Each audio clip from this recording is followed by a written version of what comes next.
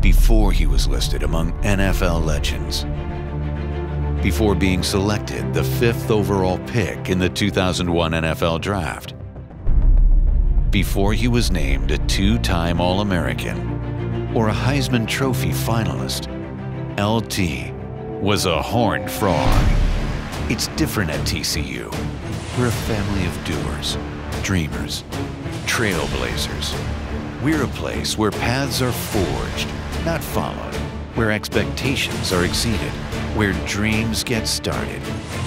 TCU is proud to recognize LaDainian Tomlinson, the ultimate Horned Frog ambassador, a doer, dreamer, and now a Hall of Famer.